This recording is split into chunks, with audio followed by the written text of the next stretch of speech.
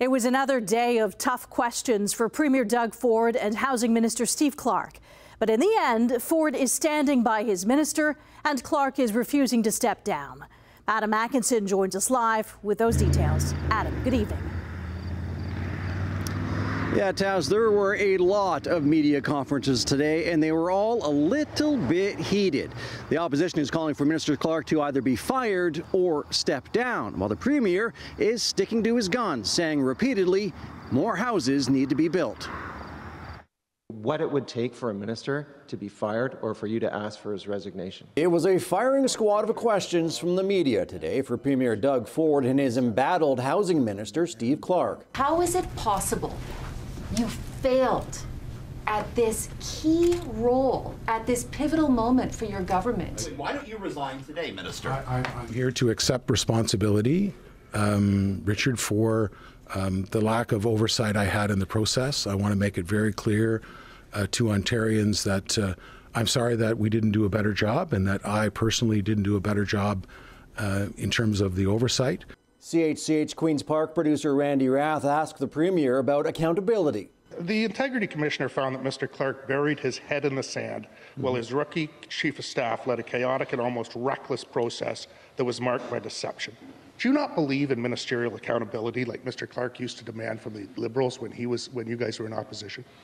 Yeah, I appreciate that, Randy. I have confidence in Minister Clark. He has a big file. I take full responsibility. The buck stops with me. And despite the controversy, Premier Ford said the most important thing is to build homes. We understand the process could be better, but our goal at the end of the day is to build 1.5 million homes at minimum. We're going to build them. We're going to do everything we can. We're going to use every single tool we can. I believe that the minister will eventually step down. But the opposition continued to call for Clark's resignation.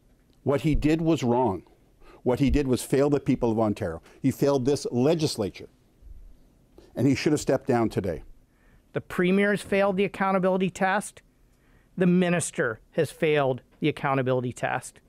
And that is why we are calling for the minister to be removed from cabinet, why we are calling on this government to reverse the corrupt process that led to this Greenbelt scandal and return all Greenbelt lands to full protected status.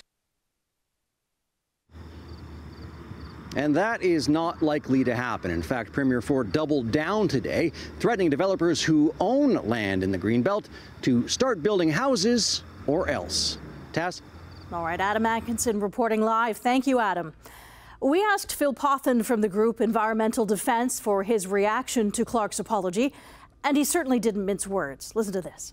He was like, a burglar who apologized for robbing our house uh, while refusing to return the stuff he took and hoping we wouldn't notice. I don't know how dumb they seem to think the Ontario public is. Pothen says there is no prospect of Minister Clark or the Ford government getting out of the scandal without reversing the Greenbelt removals in their entirety. At one point during today's news conference, things got very personal. Premier Ford went head to head with a reporter, seemingly attacking him for where he lives. But another reporter came to his defense. Take a look at this. Premier, okay. at, at, what point do, do you take personal responsibility here, and how are people to have trust in your leadership? I'm sure you just walked down the street from your home, that you have a home. But do you know how many people don't have a home, Colin? There's hundreds, hold on, there's hundreds of thousands of people that home, hold it. Uh, there's hundreds of thousands of people that don't have homes.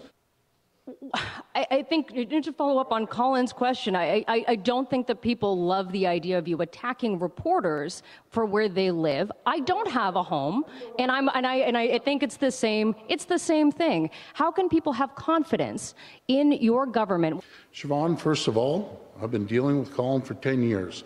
I give him the utmost respect, and it works both ways. You, you don't attack me, I don't attack him, but you know something? The Premier clearly rattled by the interaction. He went on to say he's sorry if he offended the reporter's feelings.